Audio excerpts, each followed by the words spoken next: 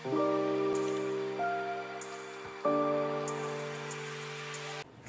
guys! For today's video ay may challenge kaming gagawin at yun ay ang fasting challenge. So I made sure na before ako matulog ay tinimbang ko muna yung sarili ko no. So ayan 74.45. Nung sinabi ng husband ko yun guys, hindi ako sure kung makakayanan ko ba kasi never never ko pang na-try na mag-fasting talaga ng ganun kahaba. But I want to challenge myself as well. Ayan, so kung makikita nyo guys, napaka-bloated talaga ng chan ko kasi mahilig akong mag-rice. Ayan, nag-sit ups lang ako no for 3 minutes. Like 100 bangon higa. Ayan. Kung wala kayong ganyan guys, pwede naman yung sa sofa or ipit nyo yung paa nyo para makaganyan kayo. Hindi naman necessary na may kailangan maganyan talaga kayo na equipment no for exercise. So ayan. I'm so glad na ginawa ko tong challenge na to kasi it really made me feel good guys na yung parang magaan yung chan mo na walang kahit makaranas ka man lang ng flat na tummy for one day, you know. Hi guys, good morning. So it's now 11:29.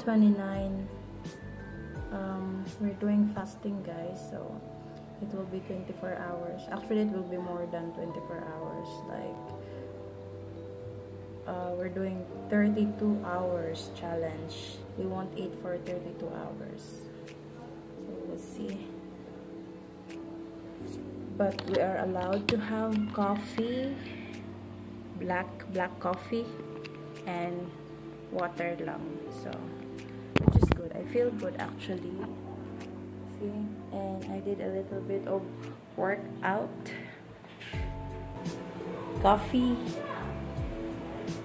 and my 2 liters water. See? Yun lang.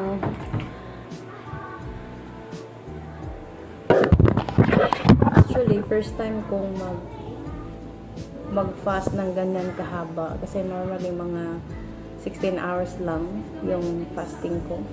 This is the first time ever dahil sa husband ko siya yung nag um, encourage sa akin. So, gaya-gaya lang din, di ba? Pero so far, so good naman. Um, yeah, so, yung next kain namin is tomorrow, Saturday. Um, breakfast, siguro mga 8. Mga 8 o'clock. So, we'll see kung anong kakalabasan nito. Kung makakasurvive ba si Akech. Pero, yeah, okay naman siguro. I'll just make myself busy like mag magki-cleaning ako no? Maglilinis na lang ako siguro. Para hindi ko maisip na gutom pala ako. Tsaka maganda sa feeling kapag hindi ka kumakain lagi. Kasi yung chan mo mali, um, you feel sexy. Yan tingnan natin kung ilang weight yung malulose ko. or for 32 hours na walang kain. We'll see. At this time guys ay hapon na siguro mga 4.30. Ayan, umiinom lang ako ng tea. Kung hindi coffee, tea. Para hindi ako magutom masyado.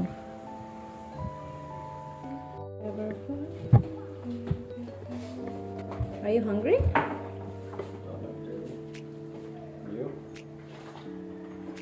Surviving. Yan, so bago kami manood ng Game of Thrones, guys, babrowse lang ako ng mga lulutuin sa cookbook na binigay ng mother-in-law ko. So, ayan.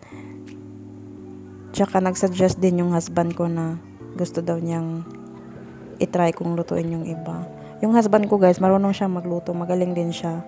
Kaya nga lang, mas ine-insist ko na ako magluto kasi trabaho ko naman yun talaga. So, ayan na. Manonood lang kami ng Game of Thrones for siguro mga 3 hours or 4. At nakatulong siya guys kasi hindi ko iniisip na gutom pala ako, no. Pero yung gutom na na-feel ko, manageable naman siya. Yung gutom ka pero hindi naman, alam mo yung hindi nakakairita. Alam nyo guys, nung simula nung nagsama kami ng husband ko, ang dami kong mga bagay na ginawa na hindi ko ginagawa dati. Like, nagbabasketball ng 12 noon. Sino ba namang magbabasketball ng ganun ng sobrang init, no? At inisip ko na rin na di bali lang mangitim ako kasi uh, maganda naman din yun sa akin. Hindi naman siya matagal, siguro mga 15 to 20 minutes lang, pangpapawis lang talaga.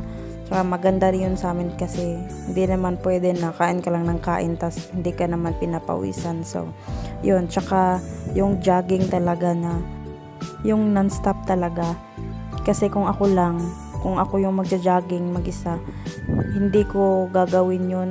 Kumbaga, kung pagod ako, hihinto ako. Pero yung pag siya ang kasama ko, kahit pagod ako, kahit di ko na kaya, talagang sinusukat ko yung sarili ko kung hanggang saan talaga yung kaya ko, no. Kumbaga, he's making me to do the things na hindi ko ginagawa noon.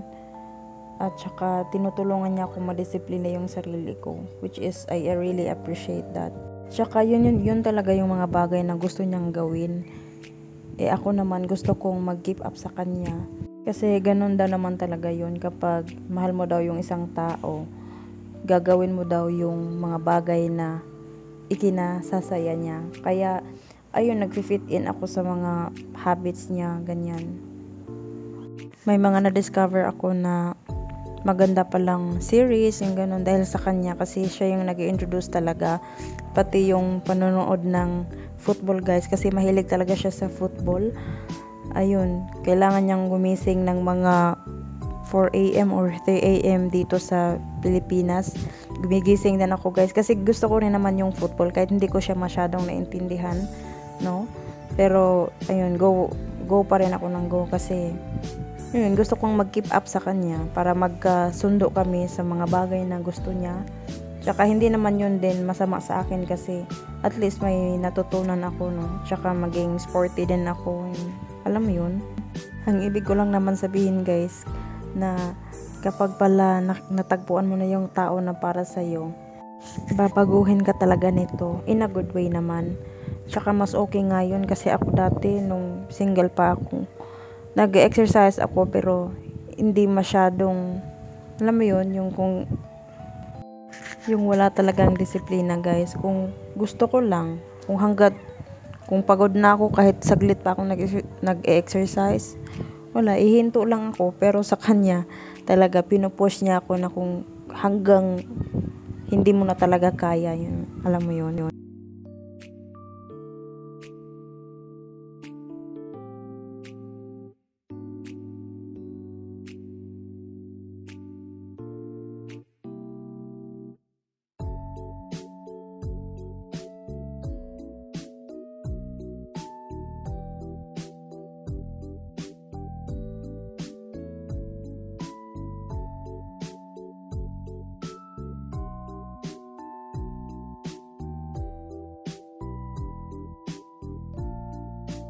Time check, it is now 8.16 in the evening.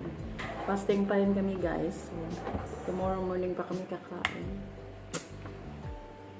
Uh, I'm hungry, pero kinakaya naman. Tubig lang.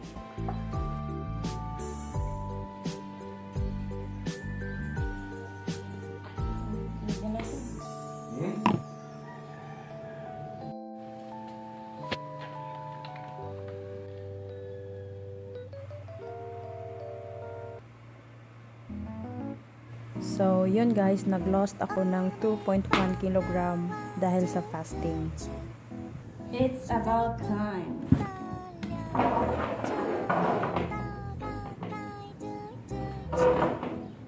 And I will definitely do it again, guys. Na-surprise ako guys kasi nung mga time na yan, hindi talaga ako masyadong excited kumain. Actually, yung husband ko nagising ng maaga kasi gusto niyang um, pumunta kami ng 7-Eleven para bumili ng, ano nga, ng breakfast namin. Pero parang hindi ako gutom. Hindi ako excited na kumain. Na inaantok lang ako. Alam mo yun, yung tipong 34 hours na kayong walang kain. Tapos hindi ka excited kumain, no? Pero, yun na, dinahandahan ko lang kasi Pangit naman kasi pag kumain ka bigla ng marami, no? Tapos, bigla yung chan mo, sasakit siya. So, ayan. Na-surprise lang ako kasi Normally talaga guys, kapag gutom ako, alam mo yung naiirita ka, yung grumpy ka.